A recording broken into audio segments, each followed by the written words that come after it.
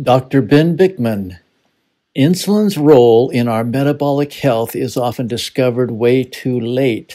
Someone eats a starchy, sugary meal, blood glucose levels will climb very rapidly. That is uh, a lethal situation actually and, and it, you can die from what can happen with that uh, chronically elevated glucose because of what's going on at the kidneys. And so insulin comes in from the pancreas into the blood to save the day. It basically opens doors in certain cells throughout the body like muscle and fat cells for that glucose to come from the blood into those cells thereby lowering glucose and then insulin having done its job retreats back into the background. However that fails to um, highlight the fact that insulin has an effect on literally every single cell in the body. Every cell in the body has little doors that insulin can come and knock on and thus tell the cell to do something. The theme of what insulin does, if we tried to distill all of its thousands of chemical reactions to one central idea, is insulin tells cells what to do with energy. Um, some cells, it tells it to take in energy, like the muscle and the fat cells, but every other cell, uh, it still tells the cell what to do with the energy that it has, what to do with amino acids and glucose and fats and ketones and lactate. It, it dictates energy use at every cell, and thus, um, by extension, it dictates energy use in the entire body the average individual is coming to their physician visit once a year and at every single visit they will get their glucose numbers and then a bunch of lipid numbers ldl cholesterol hdl cholesterol and triglycerides and that'll that'll almost be the end of it. Unfortunately at no point has the word insulin ever entered into this conversation with between patient and clinician. But the, the tragedy there is that someone could be coming into these doctor appointments year after year over decades, and the glucose is always normal. And so the physician or the clinic is never thinking that there is any hint of a metabolic problem. But in reality, insulin has been climbing steadily throughout every year at every visit. It's just evidence of the person's mounting insulin resistance. They have several times more insulin than they did it's not working as well in controlling glucose, but they have so much that it works well enough and the glucose is staying in check. And it's only once the body has reached this, if you will, maximal point of insulin resistance, now the glucose starts to climb. And hmm. then we detect the problem with conventional thinking because we look at everything through the lens of glucose.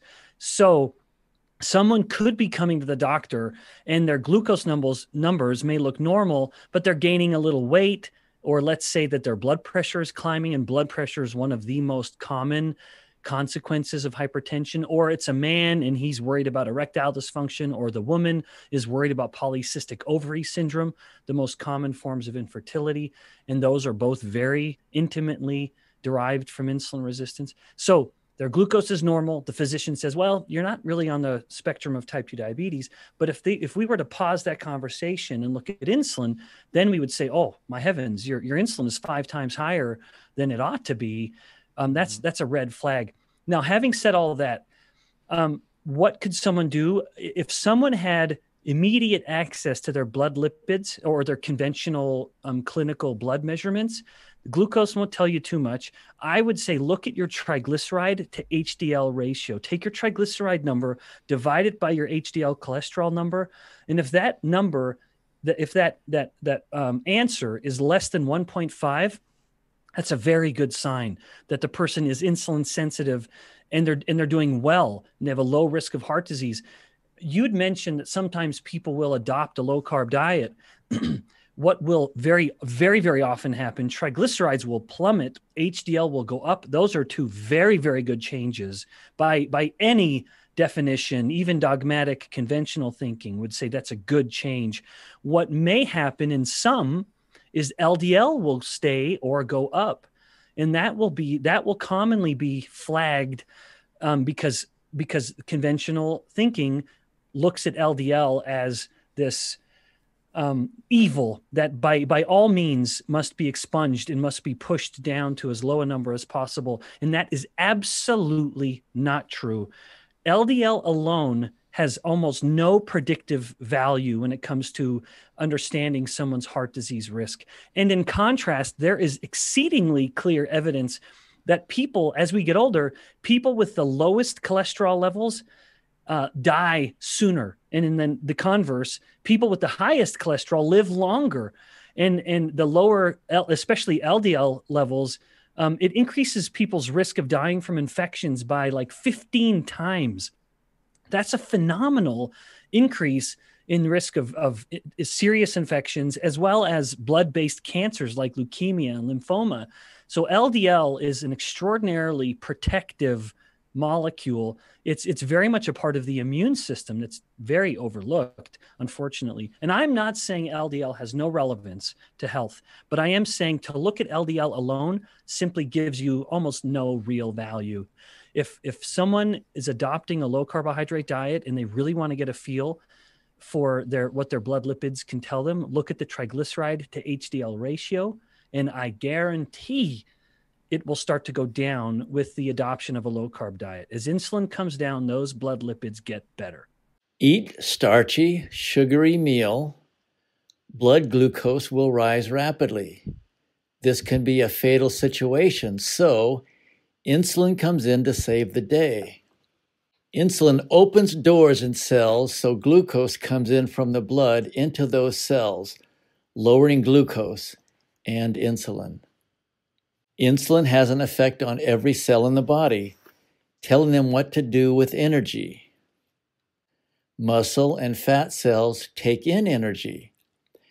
Every cell is told what to do with amino acids, glucose, fats, ketones, lactate, an average individual at an annual checkup will often see his glucose numbers and lipid numbers LDL, HDL, triglyceride. Insulin is not considered. This is a tragedy and can go on for decades. Glucose is normal, so the clinic says no problem, when in reality, insulin is climbing every year. Resistance is growing, but insulin is working well enough. It's only when maximal resistance is reached and glucose keeps climbing, then it is discovered. Blood glucose looks normal, but weight is growing, blood pressure climbing, or the main causes of infertility are growing. But since glucose is normal, the doctor says, no problem. But if we pause and look at the insulin, insulin is five times higher than it ought to be. That is a red flag. So you can look at triglycerides and HDL. The ratio of triglycerides over HDL, if it is less than 1.5, you are doing well.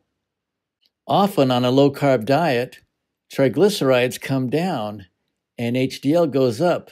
That is good. In some, LDL will remain or go up. Conventional thinking says this is evil, but that is absolutely not true. As we get older, people with lower LDL cholesterol die sooner.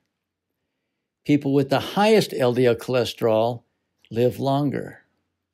And as we get older, lower levels of LDL cholesterol increases the risk of dying from infection by 15 times.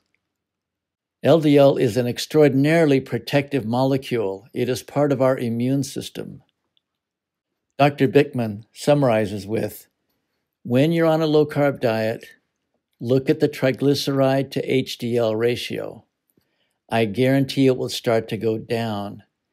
As insulin comes down, blood lipids get better.